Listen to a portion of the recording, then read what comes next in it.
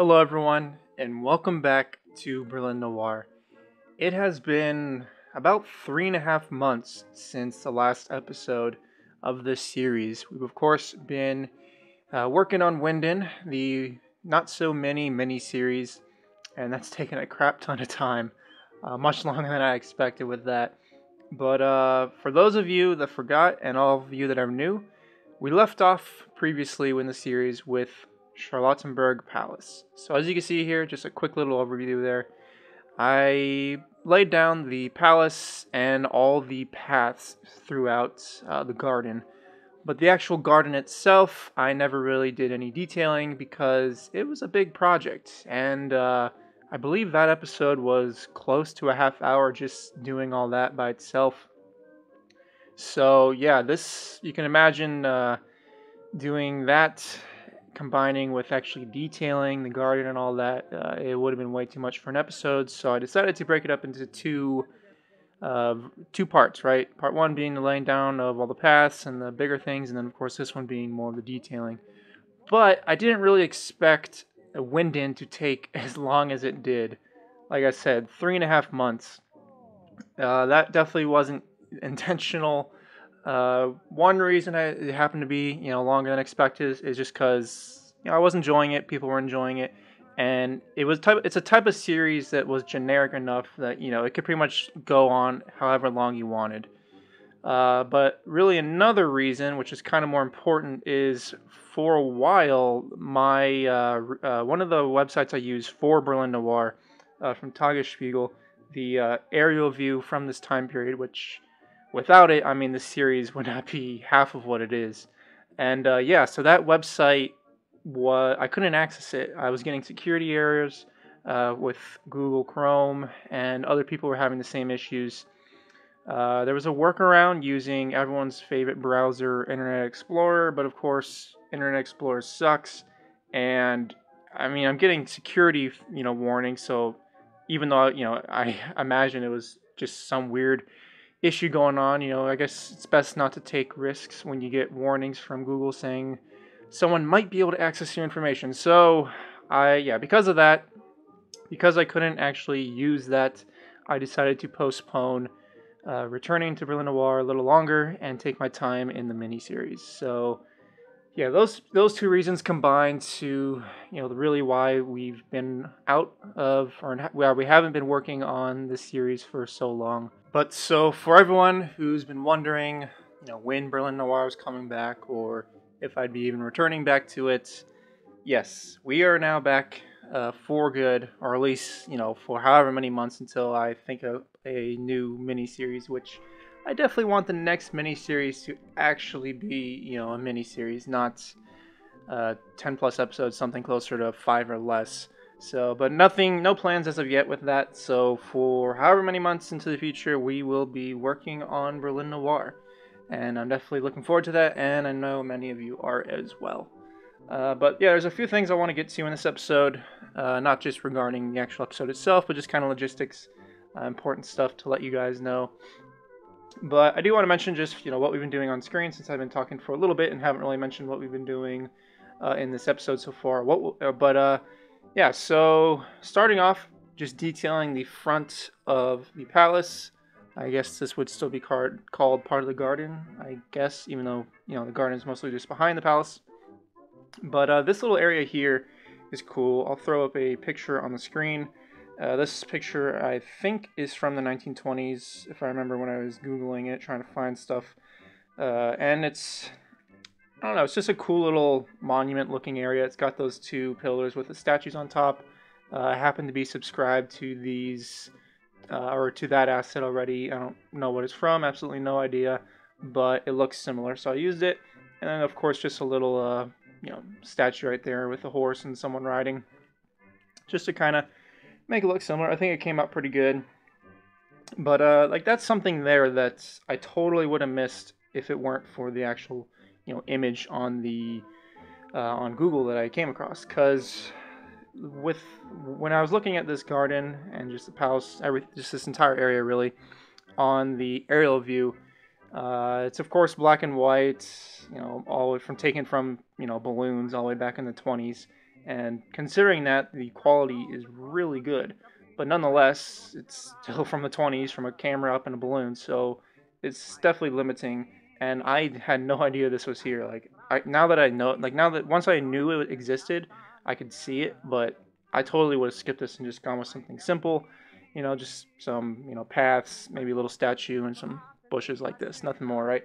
But when, it, one thing I've noticed when I was you know detailing this entire area was it's hard to really capture the level of detail in this in the in the palace and the garden areas because you know from an you know aerial perspective again it's hard to notice those details right? Because there's a ton of trees. You'll see uh, i don't really place any trees at least I, okay i place some but considering how many trees are actually that i eventually place i hardly place any on camera i should say.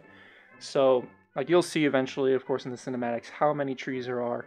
And uh, at this time, the garden was a little different uh, than it is today. Uh, the main area of the garden, at least in modern in modern times, right? If you go there today, uh, right outside the back, right outside the back side of the palace, you have a nice garden with some flowers and you know colored rocks and stuff, and make cool patterns. But back then, you didn't have that. You just had really just a green patch of grass, some trees, and some paths meandering their way through. So, what I did, and I mentioned this all the way back uh, with the episode when I first laid out the paths, but of course I'll mention again since that was such a long time ago. But what I did was kind of combine a few different things. So, the paths that I laid out are more similar to today, but also they resemble the paths as they were originally when the palace was first built. So here's a picture of it back in 1717. As you can see, it looks you know brand new just about, uh, because it is. Uh, and it's very neat, very nice. Everything's well manicured.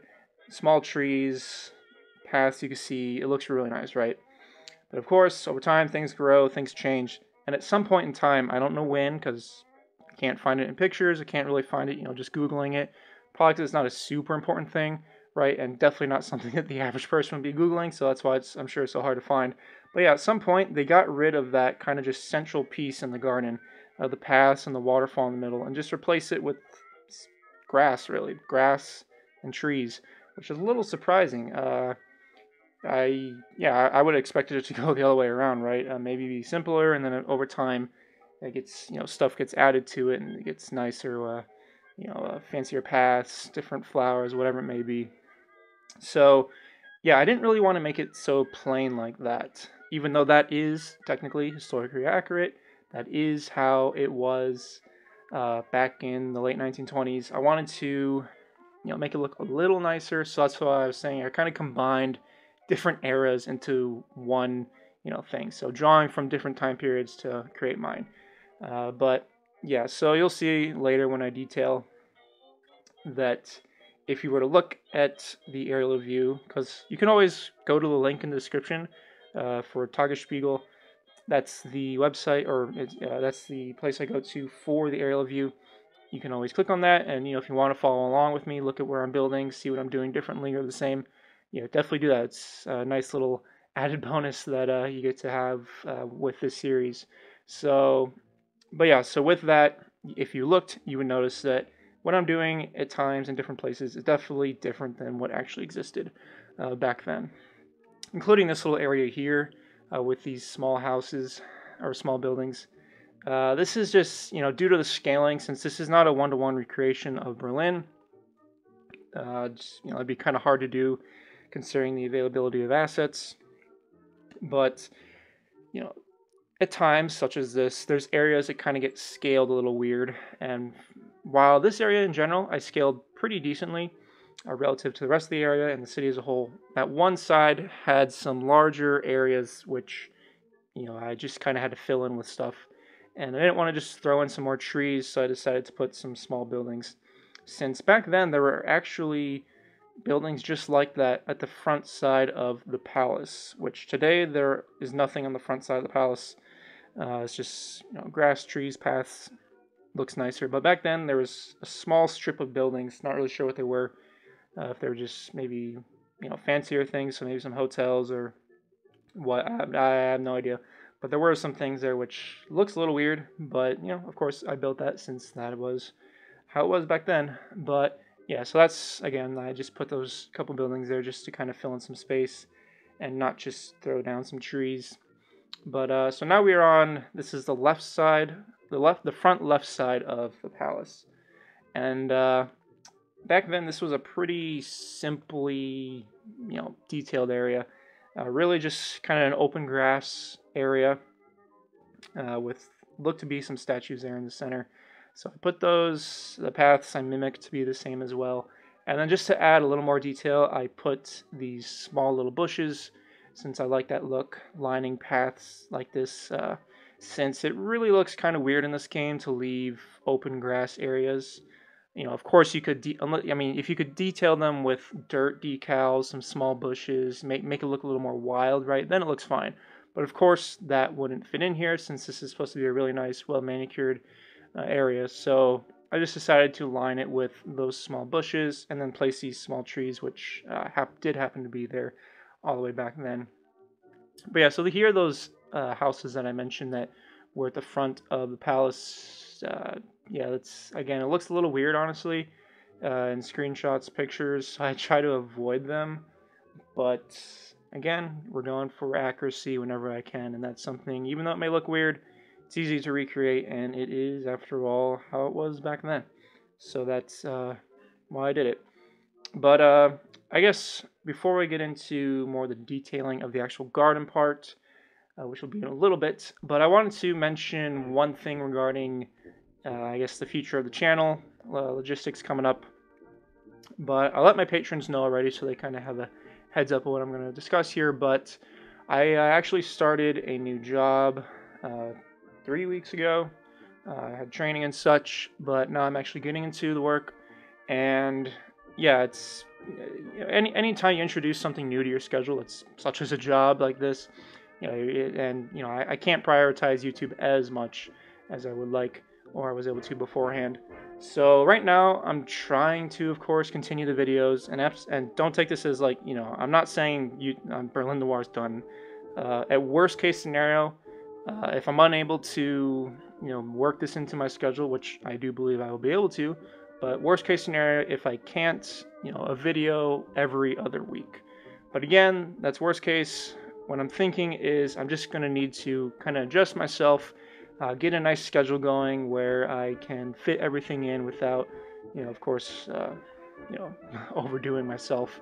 Uh, since that's you know that uh, that's kind of the worst thing. Uh, it happens, of course, all the time with YouTubers, uh, regardless if they play this game or not. But you know, this this of course isn't my job, right? Um, this is just more or less a hobby of mine. Nothing really more than that. Just sharing my creations with all of you. So I can't always prioritize it as much as I would like to, but it's also a very creative strain at times. Uh, so going from work and to something like this, you know, sometimes it is simply not in the mood to deal with, you know, having to recreate something and look up, research all the pictures and history of an area, since it's a lot of work that goes into all this. So, yeah, I just want to let you all know that that's, you know, what's going on right now. I, like I said, I do think not much, not much time I'll be able to work a schedule in and be able to, you know, get back to weekly uploads, no problem, nothing wrong. But worst case, maybe for the next month, maybe two, I might be, you know, uploading every other week. So yeah, just let you know. But again, it likely won't be a big deal at all. But so, anyways, just wanted to cover that. But yeah, so I guess back to what we're doing here. Uh, this was really fun. This detailing here and quite satisfying actually. Uh, as you saw at the very start, I added some more paths to it, and it wasn't centered right. I, I'm pretty sure I intended to have this be centered when I laid the paths all the way back in that first episode, but I noticed when I re-uploaded the save or reloaded the save, I was like, this is definitely not centered, and I could have messed around with it, but there was just too too many paths leading from that that were main paths that I would have changed. So I just decided to leave it a little off-centered and just connect the paths there in the center. And honestly, it kind of made a cool looking shape and pattern. Uh, like that's something that I just never would have created on my own, right? The only reason that happened is because just kind of by necessity, right? I kind of had to since it wasn't centered. So I really like how that turned out. And then putting down all these hedge networks uh, just was, like I said, it was very satisfying for everything to come together. And uh, yeah, more than usual, I guess I should say, which is why I uh, left the entire thing in. Normally, something like this, I maybe would have left in part of it and then kind of skipped to closer to the finished product. But I wanted to leave the entire thing in just so you can, you know, I'm sure many of you will find it equally uh, fun to watch and, you know, the progress from just having that open area with some simple paths to what we uh, built there just a second ago. But so moving on from that area, this is where we are now. This is the area that I mentioned earlier in the video where I combined basically different eras, right? So the fountain there existed all the way back when the garden was built. At some point, it was removed. Uh, I'm guessing after World War II, whenever this area was rebuilt, they probably added the fountain back in. But again, I don't actually know since I can't actually find any pictures of you know that frequently, so I can compare it by you know decades or whatever.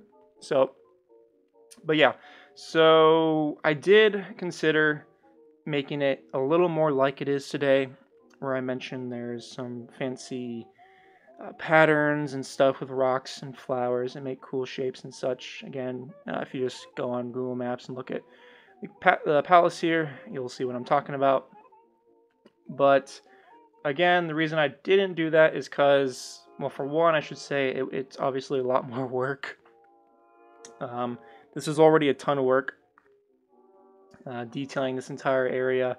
And again, you know, with my work and schedule, I was a little more pressed for time, but I of course wanted to do it right, which is why, you know, I didn't upload a video last week. Uh, I, I might have been able to, but I didn't want to rush it. I want to make this as good as I could since obviously this is a really nice area and I wanted to do it justice. But yeah, so I just kept it simple. I did put those flowers lining the center walkways there.